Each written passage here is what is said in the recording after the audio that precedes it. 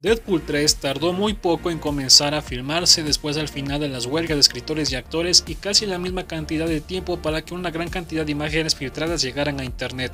Ahora, el propio Deadpool, Ryan Reynolds, ha hecho un llamamiento a los fans y a los sitios web para que no compartan imágenes que puedan estropear la próxima película. En un comunicado publicado en sus redes sociales, Reynolds compartió una publicación extensa que posteriormente fue respaldada por su compañero de cine Hugh Jackman, el comunicado dice, las sorpresas son parte de la magia del cine teatral.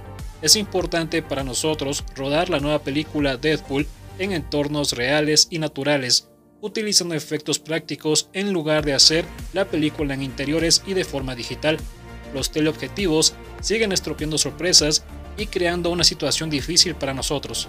Esperamos que algunos de los sitios web y canales sociales dejen de mostrar imágenes antes de que estén listas. La película está construida para la alegría del público y nuestra mayor esperanza es preservar la mayor cantidad posible de esa magia para la película terminada y la pantalla grande. Parte de la razón por la que la gente publica spoilers es porque está emocionada. Me doy cuenta de que estos no son problemas del mundo real y están firmemente en el grupo de problemas buenos. Me encanta hacer esta película.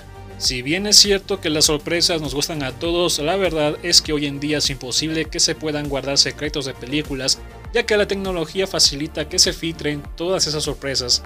Aunque Ryan Reynolds dice que es mejor grabar en locaciones reales que interiores y hacer todo digital, deberían aumentar más la seguridad del set para que esto no pase, pero de todas formas, sean imágenes filtradas o videos, la información descriptiva también es difícil de controlar, y es ahí donde entran los insiders, muy probablemente la máscara de Wolverine se filtrará o lo harán de forma oficial en alguna publicación en las redes sociales de la película o de Marvel Studios. Así que no importa en qué red social estés activo, tarde o temprano verás esas filtraciones. Esta semana se han filtrado muchas cosas y no las mostraré aquí porque lo más probable es que ya sabes de qué se trata.